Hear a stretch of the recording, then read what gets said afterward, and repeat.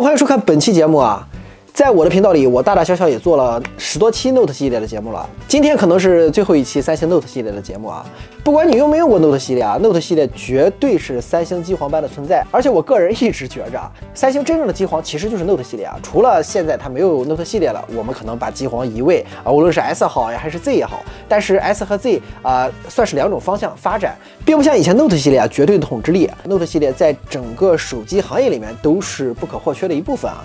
所以，他这十多年精彩的一生是非常值得我们去回味和纪念的啊。这期节目啊，你们可能觉着我会从 Note 第一代到最后一代，然后给你详细说说参数就结束了啊，那是不可能的啊。虽然说每一代我会稍微提及一下，但是参数这种东西，以前的手机放到现在来看，那基本就是没有必要提的存在啊啊，没有意义。首先啊，Note 系列啊，给三星手机或者是说整个手机行业啊带来了什么，留下了什么，又开拓了什么。其次就是说，三星为什么要把这个系列砍掉？而三星绝对不可能是一两年的时间就把这个系列直接干掉啊！你仔细去看，你仔细去发现，其实是能发现出来，它是从哪一代开始逐渐让 Note 走下神坛。在二零一一年，三星推出了 Galaxy Note 系列，这个系列一问世，基本可以说凭借当年三星的绝对势力啊，就把整个大屏手机的风波啊带向了世界啊！而且以它的销量来看啊，其实人们还是能接受或者说需要一个大屏手机的存在。当时的手机只有五点三寸啊，但是在那个年代已经算是非常大的手机了。现在的手机你六点三寸都算是小屏旗舰了，所以说这个时代的发展和比例的变化可以说是一直在不断的改变。Note 一代相较于同年的 S 系列，其实来说差距还不算太大，无非奠定了两个方面，一个是大屏，一个是 S Pen，而这两个方面其实一直到现在也是 Note 系列的一个精髓啊啊！首先我来说一说，我们到底需不需要 S Pen，或者说现在书写能占多少？这么说吧，虽然说现在语音转文字非常的方便，但是以我个人而言，如果我在做一个节目的时候，个人认为书写永远不会过时，而且书写永远不会替代书写一张白纸上面啊，我可以语音转文字，但但是如果我用书写的方式来写写大纲、画一画，随时性、及时性，还有那种书写的这种安全感啊，或者是说效率，都是无法通过打字或者是语音输入来解决的。所以说，Note 系列的 S Pen 是绝对有必要存在的。即使以后发展的非常非常庞大了之后，我觉得书写这个东西依旧不会过时，而且每个人都非常需要这种感受和这种及时性所带来的效率。所以 Galaxy Note 系列推出了 S Pen 是绝对有必要的，而且至今目前来看，S Pen 一直在发展。也是正确的方向。同样，S Pen 出来了之后，就要求了书写面积一定要大，毕竟你写东西嘛，面积越大啊，书写的感受越好。从而，Note 系列大屏也因为 S Pen 而诞生了。其实是这个逻辑关系，三星是先决定了 S Pen，后来这个 S Pen 决定了 Note 系列的样子。然后 Galaxy Note 一出来了之后，销量还是非常的不错。三星也没有预想到啊，大家对这个大屏非常渴望，所以在第二年的八月，三星就发布了 Note 二系列，而这个系列也逐渐的变成了一个常规升级的系列。Note 二相较于 Note 一，把屏幕提得更大了，提到了五点五寸，但是其他的基本来看还是常规的一些升级。最重要的还是经典系列 Note 三的出现啊。在一三年，三星在全球一共发布了两款 Note 三，一个是 Note 三系列啊，一个是 Note 三，可以说是 FE 系列吧，当时的，只不过那个。时候叫 Neo。我们先看 Note 三啊，在 Note 二的基础上，屏幕又是加大了，加大到五点七寸。三星在二零一一年啊，那个大家都还接受不了五点三寸的时代啊，只通过了两年时间，直接把这个手机，而且因为当时你知道手机的这个屏占比没有太大，所以说当时的五点七寸真的拿在手里已经感觉非常的大了啊。为什么说 Note 三是一个经典的一代？因为 Note 三也奠定了 Note 的一个工业设计，也就是说棱角分明。而且在 S Pen 上也加入了这个悬浮菜单啊，悬浮菜单一直就是 S Pen 的这个灵魂啊，抽出来之后直接弹出来，包括 Good Lock 里面的 Fantastic 一直也对它进行着不断的美化，而且也有 Note 三系列的这个经典小动画啊，所以 Note 三啊在工业设计上让 Note 系列啊定位成功，更加商务，更加有棱角分明，也就是说四四方方的感觉要逐渐出来了，而 S Pen 也有了这个悬浮菜单，所以 Note 三啊在这个 Note 的历史里面。还是一个非常重要的一个角色。然后我们来看一下，二零一四年，二零一四年三星发布了 Note 四和 Note 四 E Edge 啊，这个曲面屏。其实 Note 四相较于 Note 三啊，呃，算是一个小水桶升级吧，没有太大的一些改变，呃，只不过它加入了二 K 屏，呃，但是当时啊，你可以看到 S 四和 Note 四其实就稍微有了一点这种混淆不清的感觉啊，这也就是一个小隐患，呃，只不过不知道当时三星发没发现。所以说 Note 四吧，大家可能有点失望啊，但是三星祭出了一个大招。那就是曲面屏。当时一出的那种震撼程度，就像是第一次摸到 Fold 或者第一次展开 Fold 的那种感觉啊，啊，好像感觉要比 Fold 还要震惊一些啊，啊，我是这么感觉的。当初 Note 4的定价是七百美元，它直接贵了二百五十美元啊，所以说卖的也很贵。毕竟是新技术，三星也没指望它销量有多高，毕竟是一个新的东西，只是让大家逐渐接受，或者说就是秀肌肉吧。但是这个曲面屏啊，三星秀肌肉的一小步，却是今后乃至到现在大多数厂商秀肌肉的一大步啊！啊，虽然说现在三星已经逐渐的这个把屏三 D 屏变成了这种二点七 D 啊，只有在 Ultra 系列上可能才会看到这种曲面屏，已经不太爱玩了。但是目前其他厂商你依旧可以看到非常痴迷啊。首先曲面屏确实好看，Note 四虽然说没有什么太大的更新，但是 Note 四 E 的出现啊，让人们眼前一亮，而且也奠定了今后三星玩热弯玻璃啊扎实的存在。然后一五年三星推出了 Note 五，Note 五的尺寸就没有再大了，依旧还是五点七七寸的大小啊。毕竟那个当年的屏占比的水平，你要再大，确实有点说不过去了。而且电池呢，相较于 Note 四的三千二还小了二百毫安时，到了三千毫安时。呃，难道三星预判了什么？Note 五其实算是一个发展比较稳定的一个手机啊。Note 五当时的成像我记得非常不错啊。我当时记得彭总他自己一直在用的手机，除了之前的 HTC，好像就是 Note 五他用了一段时间啊。他那期的评测对我来说也非常受益啊。啊，Note 五的话虽然说没有什么太大的一个呃经典或者升华，但是它做到了 Note 系列一种稳定的一这个持续发展。呃，如果他说他给三星的 Note 系列或者说 S2U 带来了什么，那可能就是 S Pen 的结构啊变成了这种弹出式的。这种弹出式的结构不光解压，呃，而且抽出来那一瞬间的那种仪式感也是非常的足啊。三星在一六年啊就直接发布了 Note 七啊，就没有 Note 六了，啊，步子跨的有点大。Note 七呢，这里就不再说什么了啊。怎么说呢？Note 七就是一个美丽的遗憾吧。啊，不管是谁对谁错，你要想得到真正的这个事情的来龙去脉，我的评论区你肯定能找到答案，到底是一个怎么回事？不再去浪费时间口舌去弄这点这个噱头了。我只是想说，不管谁对谁错啊，Note 七的这个爆炸事件，它绝对是三星公关最失败的一次。啊，也是非常重要失败的一次啊，可以说是一个三星在内地的一个分水岭。但是我们还是要说一下 Note 七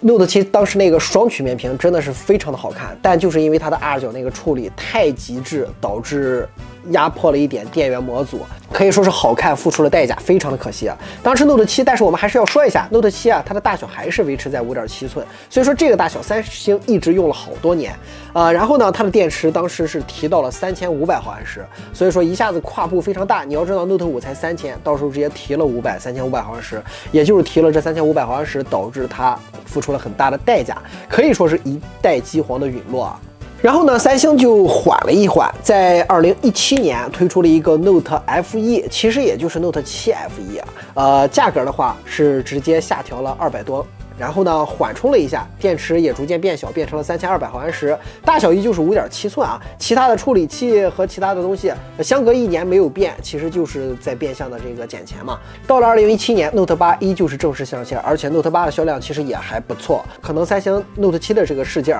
只是说对于这个它的 Note 系列在全球的影响，其实还是不算很大。因为当时 S 八往后啊，Note 八就已经取消了这个实体的指纹按键，都放到了背后了啊。再加上它的曲面性做的很极致，所以它的这个屏占比上来了，因此它的这个大小首次就达到了六点三寸的大小。也就是说，Note 八在二零一七年让三星的 Note 系列啊上升到了一个六寸以上的一个时代。同样，因为电池的原因，这次的电池依旧是三千三百毫安时啊，也没有像 Note 七一样三千五，也就是说变小了。相较于 Note F 一只提了一百毫安时电池。通过这个 Note 系列爆炸事件往后啊，其实对我们用户来说也有一个好处，那就是三星用到了凝胶电池，往后呢这个。电池的隐患可以来说更加的安全和保险了。Note 八和 Note 九其实它们俩差别也不大，都是常规的水桶升级，而且呢价格是真的提上来了啊！一七年直接就是九百五十刀，呃，而一八年的这个 Note 九直接就是一千美金起步啊，所以说真的贵，绝对的贵。Note 八相较于三星的这个 Note 系列发展没有起太大的决定性作用，就是一个很稳的这个旗舰，各方面都做得非常的满啊。唯一说一点，可能在工业设计上，就是说防爆盾第一次出现在了我们的视野里面，这个防爆盾。一直到 S 十用到 S 十，我们一直以为只是开始，没想到就是结束了。Note 八没有其他的，叫我在我看来就是防爆盾它一个亮点的出现啊。今后啊，到 Note 九呢，这个一八年价格直接提到了一千美金啊，这个电池直接上到了四千毫安时，从三千三直接蹦到了四千毫安时，而屏幕呢只是大了一点，从六点三变到了六点四啊。其他的一些配置我就不说了。呃，外观的话，只能说是屏占比更加激进了一点，毕竟屏幕大了。啊，后面的话，这种设计就因人而异了。个人我觉得啊，其是不如 Note 八好看的，毕竟这个指纹识别放在了这个下面啊，越复杂越多的累赘啊，看起来就越不精简，越不好看啊。唯一说 Note 九能给我们三星这个 Note 系列带来什么呢？啊，我个人来觉得就是 S Pen 的这个蓝牙功能在 Note 9上啊正式出现了。这个蓝牙功能一直用到放到现在啊，无论是有了 DeX 啊，无论是远程操控，一个远程操控，一个小遥控器啊，这个功能可以说是让 S Pen 啊更加的全面化啊。详细的视频咱们都做过，但是很多人说如果 S Pen 加上小摄像头就更好了，哈哈。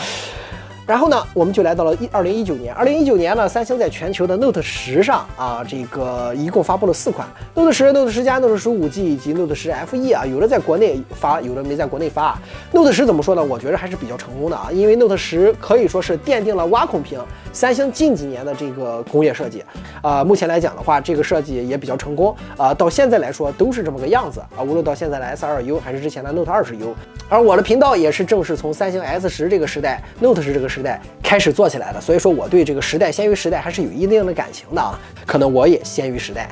呃，然而呢，这个近几代的这个 Note 系列，你会会发现，并不像之前那样有绝对的统治力了。其实三星从 S 十这个时代，个人来看，它就已经萌生了一个让 Note 系列逐渐消亡的这个念头了，就是从这里开始的。因为 Note 十和 S 十这个系列是首次没有拉开差距的一次系列，在以往这个 Note 系列是绝对的霸主地位，无论是价格差价，还是它的整体性能配置，甚至说出的一些新的功能啊，至少不管有没有用，能让我们看到改变。虽然说之间也有这种相重叠，或者说没有太大差别的这种升级的感觉，但是它和 S 系列一直是有差距的。当时 Note 十我记得做完先行者的活动和 S 十相比，S 十当时先行者活动就是都说盖板啊，就是五千六百九十九，Note 十好像做完了活动也就是贵个四五百块钱。以往的话，它不可能贵四五百块钱。以往的 Note 系列相对 S 系列贵的都是一千五或者一千往上，甚至你看到在配置方面，S 十和 Note 十甚至是互有胜负啊。Note 十削的很多啊，Note 十幺零八零 P 的屏幕后面侧的也没有了，是吧？也没有了三点五毫米的耳机孔。你在 Note 十 S 十上面先，我以以往我只需要考虑我喜不喜欢正方形的造型，或者我需不需要 S Pen。但是有了 S 十和 Note 十，你就会发现。我不光要考虑这两个点了，我还要失去 2K 屏幕，我还要失去3.5毫米耳机孔，我还要失去祖传的实体按键测量，给了我们一个信号，就是三星已经逐渐的缩小这个 S 和 Note 系列这个之间的这个差距了。不光是重叠啊，啊，价格也在缩小啊，配置甚至是互有胜负，这个就很很神奇啊。然后呢，到了 Note 20系列啊，那就不是互有胜负了。那 Note 20是什么玩意儿？只能说 Note 十啊，Note 20啊，这两代吧。呃，可以说是没有什么太大的发展。其实说他们都在吃 S 的老本啊，S 十可以说是呃有了很多新的突破啊，导致 Note 十看起来就平平无奇啊，只有方正型造型和 S Pen，S 二十绝对的满分机型啊。但是到了 Note 二十，你可以看一下啊，出了两款，一个 Note 二十，一个 Note 二十 Ultra 啊，这两个 Note 二十二十我就不说了，先说 Note 二十 U 吧，这个顶配它其实也就是在优化 S 二十 U 上面那个超高变数所带来的一些呃软硬适配的问题。你要说 Note 二十 U，呃，有什么这个新的一些功能来讲的话，其实都还是在吃 Note 系列的老本，没有太大区别。Note 二十我就不说了，那纯粹就是扯淡。你 S 二十都直接出高刷了，你 Note 二十来一个六十赫兹啊？你塑不塑料机身这个无所谓，因为你只要是能做的好看，对我来说带壳都是一样的，我不图这个手感啊。但是你弄一个六十赫兹，在那个年代来讲不可饶恕，也被我评进了这个个人节目里边这个最失望、性价比最低、最扯淡的产品啊。你卖的便宜也行，但是你卖的还非常的贵，比 S 二十系列。因为它还是稍微能拉开点差距嘛，它卖的还很贵，那个手机就非常匪夷所思啊！而且 Note 二十直接就出了一个平的屏幕，当初 S 二十至少人家还是一个二点七 D，这个四曲非曲的感觉啊！你直接来一个纯屏，塑料机身，六十赫兹，呃，这已经不是 Note 系列的 FE 产品了，这完全就是当时 S 二零 FE 的产品。但是 S 二零 FE 一出，你会发现。人家 S 二零 FE 拿出来都要虐你这个 Note 二零 FE，所以说 Note 二十在那个年代，三星就已经给出了一个信号，就是我已经不太想出这个系列了。这个系列哎有点累赘，好累啊，要出那么多手机。所以说这个信信号也非常的明显，导致在 S 二一出现了之后，Note 系列就停产了一年。然后呢？如果我再出 S 二一或者是 Note 二一的话，他们俩仅仅的差距还是造型和笔，所以索性就让 S 二一 U 屏幕变大一点。然后呢，适配 S Pen。那些喜欢用笔的，你别说我没提供你这个东西，没说别说我给你断下了啊，我再挣你一波外设的钱。所以三星知道啊，可能这两个系列仅仅也就只差一支 S Pen 的功能了。所以这一年 Note 系列基本就没有了。然后呢，我们就各种猜到底怎么样，到底怎么样，是不是没有了？系列是不是没有了？但是那个时候同年啊，Fold 三就起来了，Fold 三支持了 S Pen。当 Fold 三支持了 S Pen 之后，我想说的问题就是，手机上面的那支笔可以说正式沦为了一个辅助的小工具了吧。可以说是可有可无了。啊，因为这个 S Pen，我一直说做节目，你在手机上无论是长期书写，它笔又细啊，长期书写拿尺的感受，而且三星后历代这个相机模组你都放不平啊，你举着放平怎么写它都不能长时间输出生产力，所以 Note 系列的那个小的 S Pen 啊，只能说就是解决一个燃眉之急。你要真的想要生产力，随时随地，目前最完善的它就是 Fold 三上面的那个 Edition 啊，虽然说不能插进去，但是给用户多了一个选择，所以说你需要 S Pen 在移动端，个人觉得 Note 系列列的长期的用户，只要是不对那个造型痴迷，真真正正每天都用 S Pen 的人，目前来说应该都换到了 Fold 三。Fold 三是绝对的这个 Note 系列的消亡加速器，而且 Fold 三是绝对应该配笔，而且它也配得上笔，而且它也会让移动端的 S Pen 更加的舒服。所以 Fold 三再这么一出，我的节目再这么一体验，不用我说你也就应该很明白啊，Note 系列可能真的就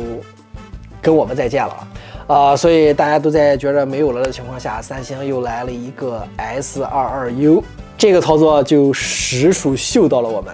S22U 的出现，可以说三星给自己的整个 Note 系列或者是 Note 团队啊，送了一个最好的告别礼物，那也就是 S 系列里面迎来了 Note 系列。Ultra 是一个最高规格的一个配置，并不能说得上是一个系列。任何东西都可以 Ultra，你看今年的平板也有 Ultra，Ultra 没有任何东西，也没有任何情怀，它只是一个最高标准的规格。所以三星把 Note 系列啊，依旧是作为他们心中的绝对机皇，安到了 S 系列里面的顶配里面。啊，以往这个很多粉丝都说 S 好用，Note 好用，S 好用，Note 好用。我喜欢 S，我喜欢 Note，我喜欢 S 的造型，我喜欢 Note 的造型。我觉得笔没用啊，我觉着笔有用。我觉得 Note 系列太贵了，根本不值这个钱。我觉得 Note 系列才是真正的机皇。现在不用打了，大家都成一家人了。S2U 目前来看的话，它是一个很满分的一个手机啊，但是还是那句话，手机发展到这个年代，没有什么太大的发展头了。直板手机，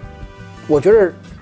也就这样了，除非再往后你屏下摄像头技术更加成熟了，呃，其实也就是这个样子，你还能发展成什么样？没有什么天花乱坠的东西了。呃，S2U 出来了之后接替了 Ultra 系列，对于三星来说是绝对的血赚啊！因为以往的话，你要在两个系列，呃，这么说吧，你今年来选 S22U 和 Note 22U，如果真的出来了之后，你让三星怎么出，或者说你怎么选？还是那句话，正方形和 S Pen。如果仅仅只是因为正方形 S Pen 的话，那三星怎么定价？就又像那年 S 十和 Note 十一样啊，很匪夷所思了。这比当年 S 十和 Note 十还要难选，因为如果今年真出了两个 Ultra，一个 S Ultra，一个 Note Ultra，大家真的不知道该怎么选。而且它俩的差距，我觉着你让三星怎么去区分差距，没法区分。Note 二十和相较于 S 二十，毕竟 Note 二十可以在 S 二十上面，因为第一次出现那种高变数、高倍变数导致的软硬结合不太特别完美的情况下，做一个小修补啊，可以出的更加完美。到目前来说，三星的高倍数做的这么成熟，你 Note 二 U 出来根本就没有任何存在的意义，纯粹就是。浪费浪费精力、浪费财力再去举办一个发布会，所以说 Fold 现在绝对已经完全接替了这个 Note 系列。而且这么说啊，如果你用了 Fold 三啊，我个人觉着，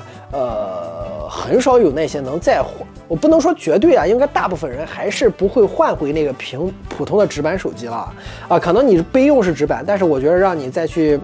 抛掉那个大屏的感受，我觉得确实抛不掉。你像现在我来说，呃，S 二二、S 二加、S 二二 U 如果都摆在我的面前，再放一个 Fold 三的话，甚至是 Fold Two 啊，我都会去选择 Fold Two 来作为日常的长时间使用啊。啊，确实是这个质的飞跃，确实是舒服啊。因为这块屏幕我能忍受很多折叠带来的不便，或者是怎样。毕竟可能说我的工作、学习、生活或者是娱乐，真的需要这个面积的屏幕来帮助我、辅助我。这期节目我们也不矫情，就是带大家讨论两个问题啊，这个 Note 系列给整个手机行业或者三星 Note 系列带来了哪些东西，留下了什么东西啊？然后就是三星到底是从哪一代开始逐渐萌生这个念头，而且又是为什么 Fold 系列有了笔啊，就是一个 Note 系列的消亡加速器啊？这个我在 Note 系列上面的节目已经做得很详细了，也都给大家说明白了。好了，这期节目应该就到这儿了，我也最后也不搞那种恶心的什么抒情情怀，毕竟手机这个东西都会陪伴每个人一段时间啊，却是一个比较重要的一个。东西，有的人可能我突然想起一个机型啊，比如说我，我突然想起了 S 七，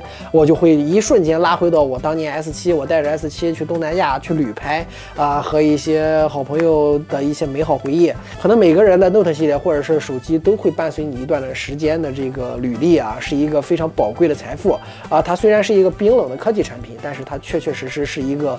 不离手的存在，所以说还是非常重要的啊。同样，我在之前做 S2U 的时候，我也征集了大家 Note 系列的故事啊。这里呢，可能不能全部展出，但是我依旧尽全力把大家用心写的长篇啊，都给大家展示出来，也算是我们对于 Note 系列做一个不错的告白。好了，最后看一看大家的留言，感谢收看本期节目，我们下期再见。